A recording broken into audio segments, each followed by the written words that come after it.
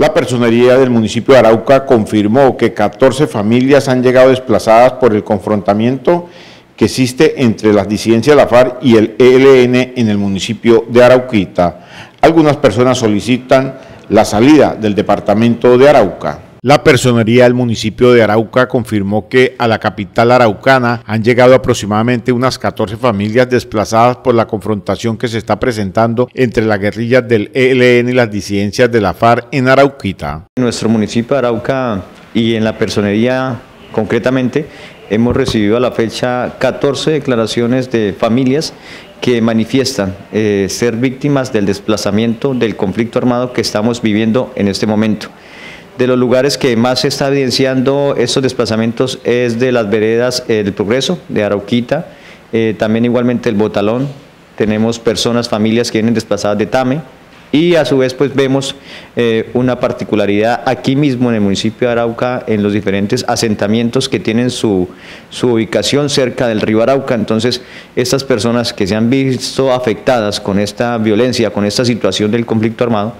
pues han realizado eh, las declaraciones acá en la personería y de esa forma pues nosotros le hemos dado el traslado, se han activado las rutas correspondientes para las ayudas pertinentes por parte de las entidades encargadas. El personero del municipio de Arauca, Alexander Rivera, manifestó que las personas desplazadas solicitan la salida del departamento de Arauca. Hasta el momento lo que hemos podido eh, hacer seguimiento a cada este proceso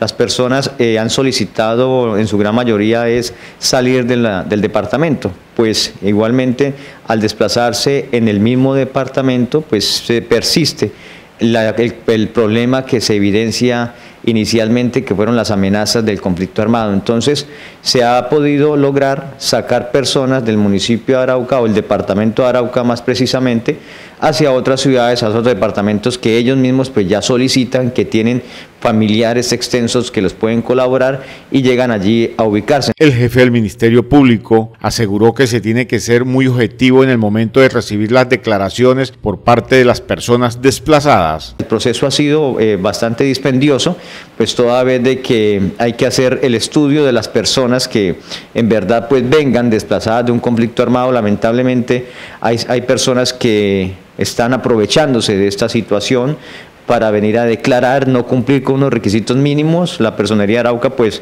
según la ley 1448, está en la obligación de tomar la declaración de la persona que ha sido víctima de un hecho eh, victimizante,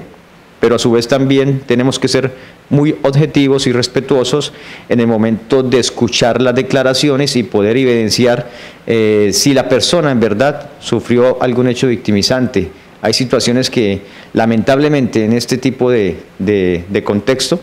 las personas o las familias o quienes vienen a declarar pues no son víctimas del conflicto armado y se aprovechan de la situación y esto genera pues un resultado que afecta a personas o familias que en verdad sí necesitan el apoyo urgente e inmediato para salir del departamento. Las familias que lleguen desplazadas a la capital araucana deben de acercarse a las oficinas de la personería municipal. Los diferentes espacios que nosotros hemos interactuado, eh,